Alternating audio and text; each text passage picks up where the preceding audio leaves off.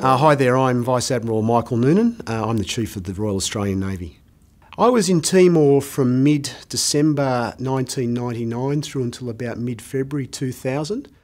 Uh, everything happened pretty quickly uh, as, it, as it transpired. Uh, I was given about 10 days' notice and uh, found myself deployed to East Timor. It was the first time that I was deployed onto a, into a land mission.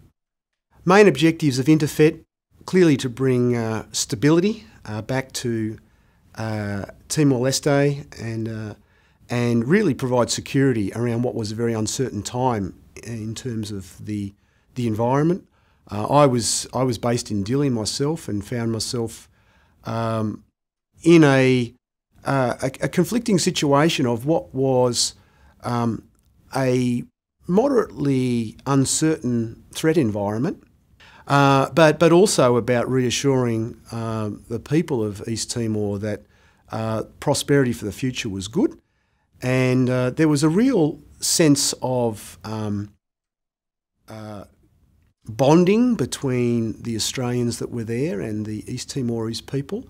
And certainly, you know, some of the, the greatest memories that I've got is young people, young children, uh, coming up to me in the middle of the day or the middle of the night and just thanking us for being there.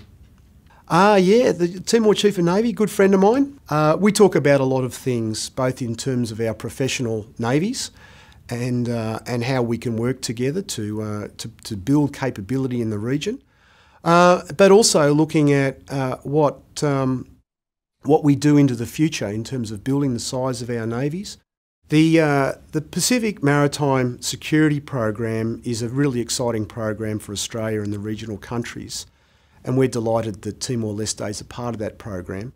Over the coming years, we will give 21 patrol boats uh, to 14 countries and, and Timor-Leste. Uh, Timor-Leste will receive two of the Guardian-class patrol boats in 2023, and that will mark a great opportunity for our navies to work even closer together. Yeah, I, I, first was there in 1999, 2000, uh, and I returned to Timor Leste in 2010. And the transformation that, that I saw in Dili, particularly in that 10 year period, was, was remarkable. Uh, it was a vibrant, busy city. Uh, infrastructure was well developed. Uh, there was great accommodation.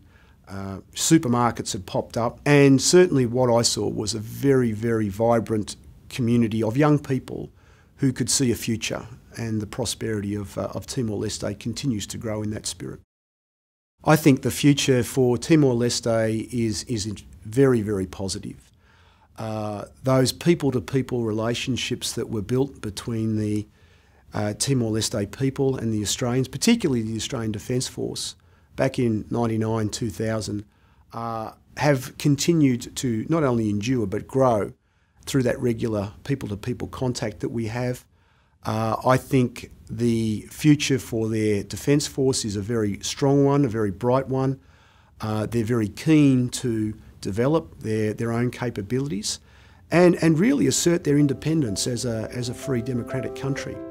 Uh, if I had one message for the, uh, the, the, people of Timor-Leste, I'd say, uh, first of all, uh, it's great to be able to be part of the ongoing celebration uh, of the of the of the prosperity of your country, uh, and I'd like to uh, convey my wishes for the future, best wishes for the future, for your uh, continued happiness, prosperity, and good health.